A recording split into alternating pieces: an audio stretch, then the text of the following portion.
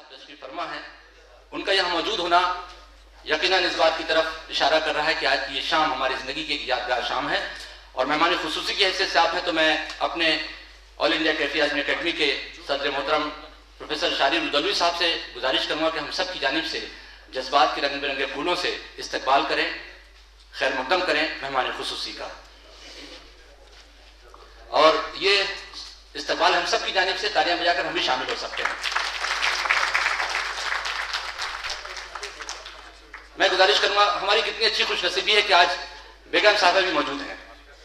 میں مسرور فاطمہ سے گزارش کروں گا، برائے کرم بیگم صاحبہ کا استقبال اسی طرح محبت کے پھولوں سے، اور ہم سب کی طرف سے تالیاں بجے تو ہم سب شامل ہو جائیں اس میں۔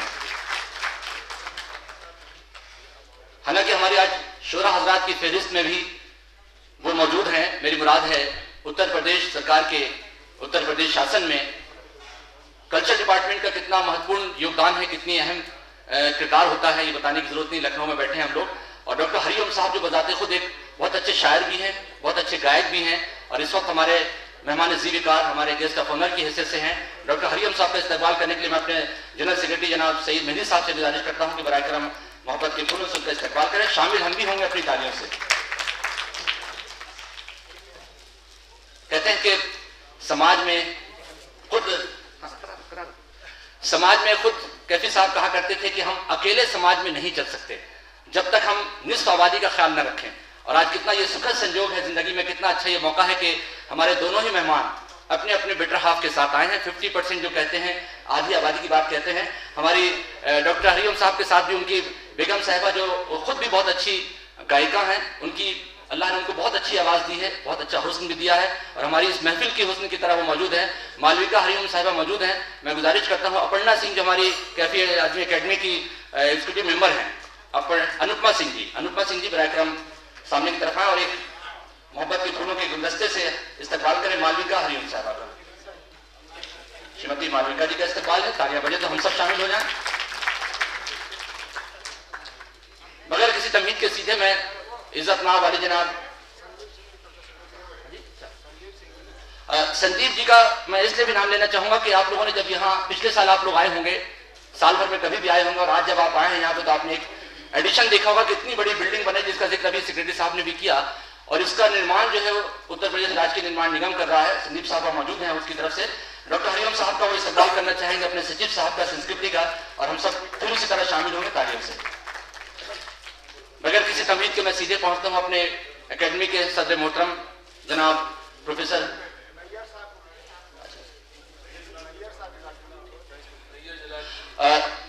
نہیں، جلال صاحب، آپ کی ویسے بھی بیچ لگ چکا ہے، آپ شورا حضرات کی فہرست میں شامل ہو چکے ہیں، برائے کرم اسٹیٹ پر تشریف لائیں۔ بغیر کسی، میں نے کہا نا، بغیر کسی تمہید کے، بغیر کسی تعارف کے آپ کو ہر شخص جانتا ہے اور ویسے بھی آپ کے اس وقت جی۔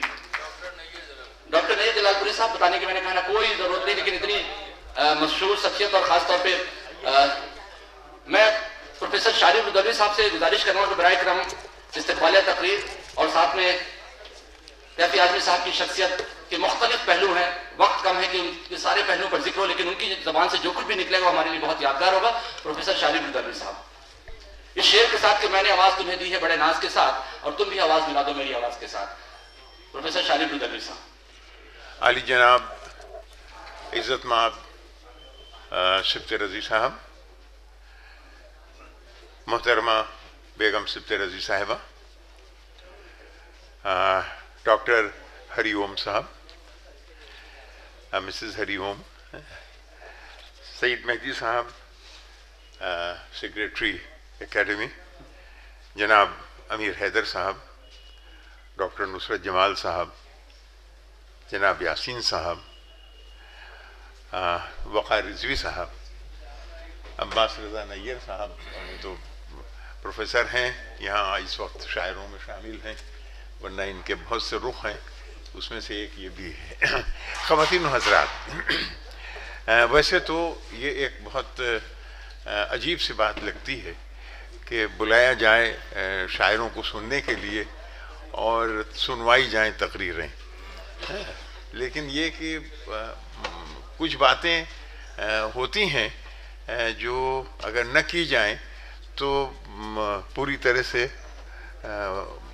مکمل وہ نہیں ہوتا۔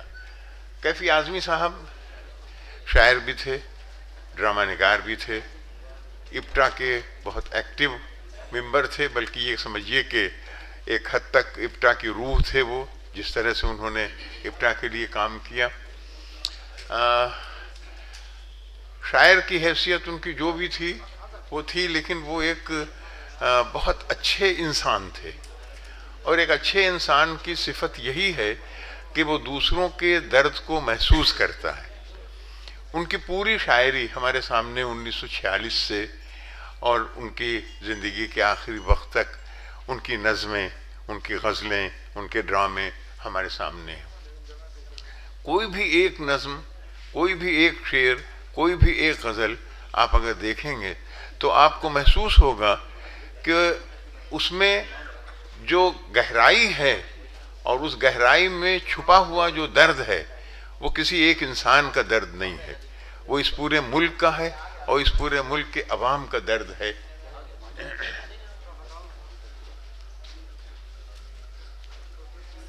تشریف لائیے تو آپ یہ محسوس کریں گے مجھے ڈیڑھ دو سو سال پہلے کے شاعر کا ایک مصرع یاد آ گیا۔ شاعر ہو، مت چپ کے رہو، چپ میں جانے جاتی ہے۔ تو اگر کیفی اعظمی کی شاعری اگر آپ دیکھیں، تو آپ کو محسوس ہوگا کہ وہ سراپا شروع سے آخر تک احتجاج اور انسانیت کی شاعری ہے۔ جب انہوں نے شاعری شروع کی، ایک بات یہ کہی گئی ترقی پسند شعراء کے لیے کہ یہ رومانی شاعر ہے۔ لیکن رومانی، رومانیت بھی ایک طرح کی بغاوت تھی اپنے وقت اور اپنے سماج اور اپنی چیزوں سے۔ اسی طرح سے ظاہر ہے کہ وہ وقت ایسا تھا جب چیزیں بدل رہی تھیں۔ ہمارے سامنے آزادی کا مسئلہ تھا، غلامی کے توق کو اتارنا تھا۔ لہٰذا ہمارے شاعروں نے جو شاعری کی اور جس طرح سے آگے بڑھے، ان کے سامنے سب سے بڑی چیز یہی تھی کہ وہ اس انسانیت کا پیغام دیں، اس اچھی اور بڑی انسانیت اور زندگی کا اور اس اس کو آگے بڑھانے کی کوشش کریں۔ لہٰذا اس جد و جہد کی شاعری کو، اس جد و جہد کی شاعری جو ہمارے سامنے کیفی اعظمی کی شاعری ہو، سردار جعفری کی شاعری ہو، نیاز حیدر کی شاعری ہو یا اس عہد کے جتنے شاعر ہیں انہوں نے جو مثال قائم کی شاعری کی، وہ یہی تھی کہ ہر انسان برابر ہے، ہر انسان کو محبت کا، جینے کا حق ملنا چاہیے۔ اور آخر وقت تک وہ یہی کہتے رہے۔ ان کی ایک بہت مشہور نظم ہے۔ میں آپ کے سامنے نظم کے اشعار نہیں پڑھوں گا، لیکن چھبیس جنوری کے موقع پہ چراغاں کا ہاں، کہ ایک چراغ جلایا ہے تو اس چراغ سے کیا ملا ہمیں؟ اس سے جو ہمارے سامنے جو اس اندھیرے میں چھپی ہوئی چیزیں تھیں، وہ سامنے آتی ہیں۔ وہ غربت، وہ بے بسی، وہ مجبوری، دوسرا چراغ جلاتے ہیں تو ہمیں محسوس ہوتا ہے کہ وہ نفرت اور وہ دہشت گردی، وہ ہمارے سامنے آتی۔ تو اس طرح سے مطلب وہ ایک ایک پیغام دیتے ہیں کہ ہمیں ان چیزوں کے خلاف لڑنا ہے، اپنے قلم کے ذریعے۔ اور ظاہر ہے کہ شاعر یا ادیب جو ہے اس کا سب سے بڑی، اس کی سب سے بڑی طاقت اس کی قلم ہے اور اس کی روشنائی ہے۔ اور ظاہر یہ جب تک ہم اس آواز کو نہیں بلند کریں گے، ہم ذہنوں کو تبدیل نہیں کر سکیں گے۔ اور سب سے بڑا کام اگر کیفی اعظمی نے کوئی کیا ہے اپنے عہد میں، تو اپنے ڈراموں اور اپنی شاعری کے ذریعے ذہنوں کو تبدیل کیا ہے۔ پوری نئی نوجوان نسل کو اس بیدار کیا ہے اور آگے بڑھنے کے لیے آمادہ کیا ہے۔ اور یہ بتایا ہے کہ سب سے بڑی چیز انسانیت ہے۔ مذہب بڑا ہوگا، لیکن اگر مذہب ہمیں تقسیم کرتا ہے تو ہمیں انسانیت کو دیکھنا ہے اور کوئی بھی مذہب تقسیم نہیں کرتا۔ اگر ہم صحیح مذہب کو مانتے ہیں یا صحیح مذہب پر چلتے ہیں، تو آج تک میں نے نہیں دیکھا کہ آپ گیتا پڑھیں، آپ رامائن پڑھیں، آپ قرآن پڑھیں، آپ بائبل پڑھیں، کسی میں یہ لکھا ہو کہ بس یہی کچھ سچ ہے۔ ایسا نہیں ہے۔ انسانیت سب سے بڑی چیز ہے اور ہر جگہ یہی کہا گیا ہے کہ انسانیت ہی جو ہے وہ اسی کی یہی ہے عبادت، یہی دین و ایما کے کام آئے، انسان کے انسان تو یہ جو سب سے بڑی چیز ہے، ہمارے ترقی پسند شعراء نے اور ہمارے خاص طور پر کیفی اعظمی جن کا آج ہم یہ جشن منا رہے ہیں، ان کے یاد میں، ان کے برتھ ڈے کے موقع پر، ان کی ولادت کے موقع پر ہم انہیں یاد کر رہے ہیں۔ تو سب سے بڑی چیز یہی ہے کہ جو پیغام انہوں نے دیا ہے نئی نسل کو وہ پیغام آج بھی زندہ ہے اور آج بھی اس نئی نسل تک اس پیغام کو پہچانے کی ضرورت ہے کہ سب سے بڑی چیز انسانیت ہے، ہمارے سامنے جو بھی زندگی ہے، جو وہ ہمیں محبت اور انسانیت اور اس کے فروغ میں گزارنی حضرات، موقع نہیں ہے کہ میں زیادہ گفتگو کروں، ورنہ کیفی اعظمی کے اشعار آپ کے سامنے نظمیں اتنی دلکش اور اتنی اچھی ہیں کہ ان کو سنانے میں پھر دوسرے شاعروں کے لیے بھی مشکل ہو جائے گی۔ میں شکر گزار ہوں اور مبارکباد دیتا ہوں سعید مہدی صاحب کو۔ اپنی علالت اور اپنی مجبوریوں کے باوجود وہ صرف سیکریٹری نہیں ہیں اس اکیڈمی کے۔